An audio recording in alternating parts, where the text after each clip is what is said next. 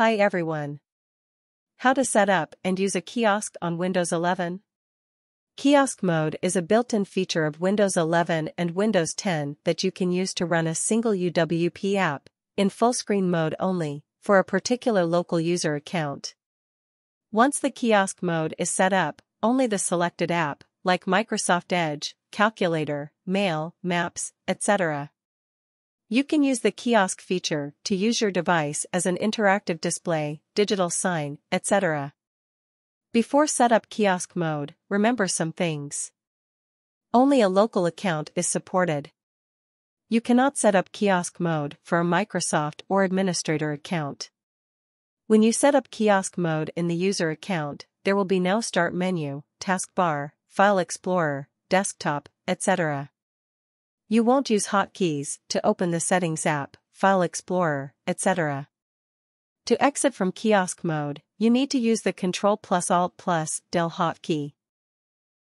Open the Settings app by pressing Windows plus I keys on the keyboard.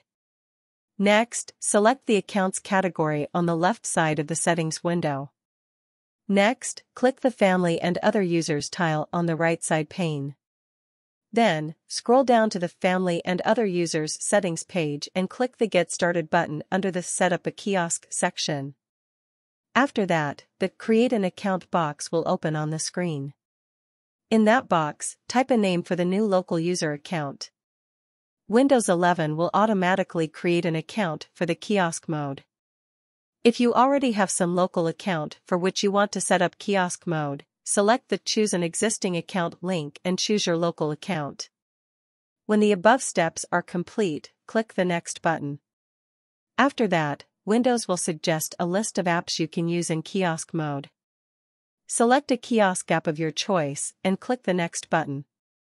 If you select Microsoft Edge, you see two options on how to use the app.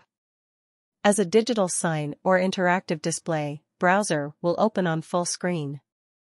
The browser will open with a limited set of features as a public browser. Select one of the options and click the Next button.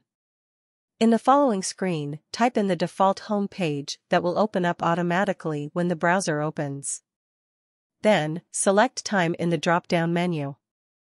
This option will restart the browser if someone has used it for the specified time. It helps keep data safe in a public browsing session.